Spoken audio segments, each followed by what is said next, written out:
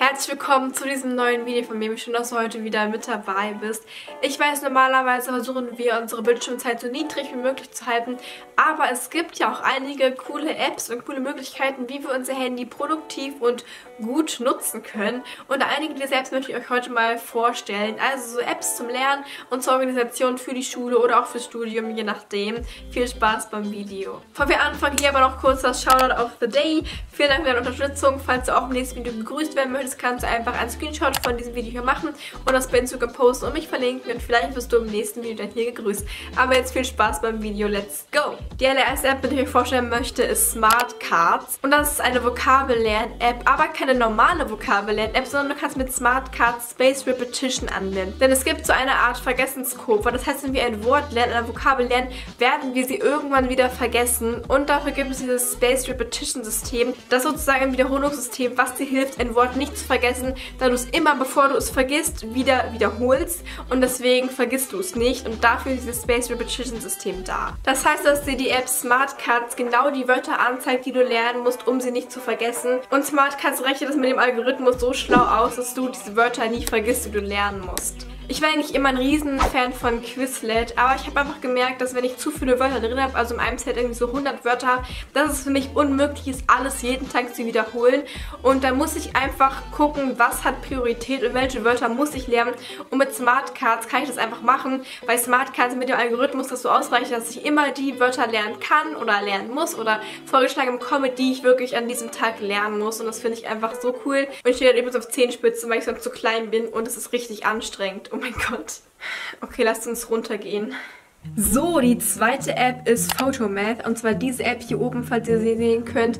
Und diese App ist dazu da, dass sie eigentlich Matheaufgaben löst. Das heißt, wenn du eine Matheaufgabe hast und die sozusagen hier stehen hast auf deinem Blatt, kannst du es einfach scannen und dann löst diese App diese Aufgabe für dich. Ich möchte damit überhaupt nicht sagen, dass ihr diese App irgendwie eure Hausaufgaben machen lassen sollt oder so. Ich möchte nur sagen, falls ihr eine Aufgabe habt und nicht wisst, wie die löst, könnt ihr das dort einscannen, denn diese App hilft euch auch den Rechenweg rauszufinden. Ich hatte das mal, da hatte ich Homeschooling, habe das überhaupt nicht verstanden, wie man das macht. Dann habe ich das eingescannt und dann wurde mir der Rechenweg erklärt. Und das ist halt die Sache, weil ich das benutzen würde, nicht unbedingt nur um die Aufgaben zu lösen, sondern wirklich um den Rechenweg herauszufinden. Dann das die Sache, die ich total cool finde, also dass der Rechenweg dir angezeigt wird und du herausfinden kannst, wie du das sonst hättest rechnen müssen. Und das ist auch so der Skill, für den ich die App benutze. Also normalerweise kann das jetzt hier einscannen so, aber ja, hi.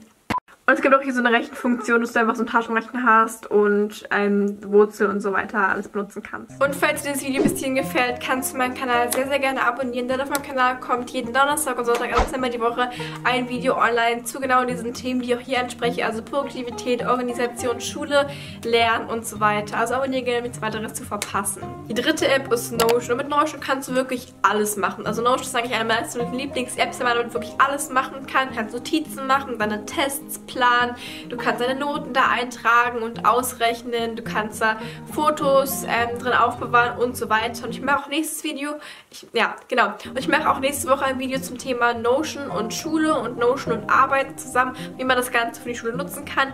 Aber ich habe schon mal ein Video gemacht zu meinem Leben und Notion, also wie ich mein Notion Setup für mein Leben benutze, wie ich alles in meinem Leben eigentlich in Notion plane. Und das kannst du dir gerne mal hier angucken. Ansonsten warte gerne bis nächste Woche, bis du dann mein Schul-Notion-Video Video siehst. Aber jetzt schon mal ein kleiner Eindruck, man kann wirklich eigentlich alles mit Notion machen.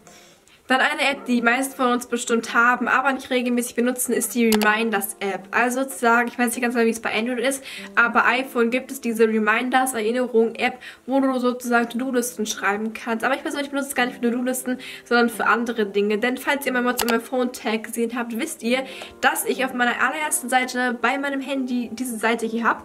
Ähm, wow. Dann habe ich hier oben eine To-Do-Liste, was keine To-Do-Liste ist, sondern ein Vision Board bzw. ein kleines Inspiration Inspirationsboard mit Sprüchen, die mich inspirieren. Und das Ganze könnt ihr auch für eure Schule benutzen.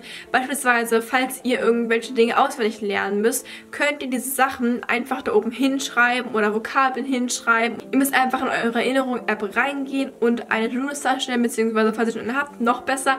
Und dann könnt ihr einfach verschiedene Dinge hinzufügen. Machen wir jetzt einfach mal Hallo. Tun wir mal so, als wäre das irgendwas Sinnvolles. Und dann fügt ihr das zu eurem Home-Bildschirm hinzu und schon steht es da unten.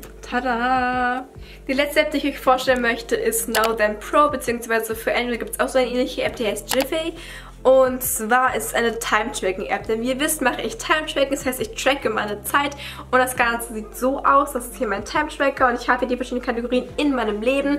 Und dann kann ich die einfach auswählen. Und dann läuft eben sozusagen ein Timer, was ich so mache. Und am Ende der Woche gucke ich das Ganze durch. Denn ich habe dann hier meine Analyse. Und ich kann dann gucken, was ich wann gemacht habe und wie viel Zeit ich verbracht habe. Und ich finde es einfach cool, weil ich gucken kann, Oh Gott, meine Nachbarn stehen hier und ich stehe hier so richtig random vor meiner Kamera, aber egal. Und ich kann halt einfach gucken, wo ich vielleicht ein bisschen weniger Zeit eigentlich hätte rein investieren sollen oder wo ich vielleicht ein bisschen mehr Zeit rein hätte investieren müssen und so weiter. Und kann einfach gucken, wie ich meine Zeit verbringe, was ich gut finde, was ich schlecht finde. Oder einfach generell so aus Spaß gucken, was ziemlich cool ist. Und manchmal sind da wirklich schockierende Ergebnisse dabei. Also sehr spannend. Und das war es auch schon mit dem heutigen Video. Ich hoffe, es hat euch vielleicht ein bisschen geholfen und einige Apps vorgestellt, die euch jetzt in Zukunft helfen empfehlen werden. Falls du noch eine coole App hast, die ich noch nicht erwähnt habe, kannst du diese auch sehr gerne in die Kommentare schreiben und dann finden wir bestimmt noch mehr Apps, die uns allen helfen können. Ansonsten könnten dich auch diese Videos hier interessieren. Viel Spaß beim Angucken und dann würde ich sagen, sehen wir uns auch schon sehr bald wieder. Tschüss, hab noch einen schönen Tag.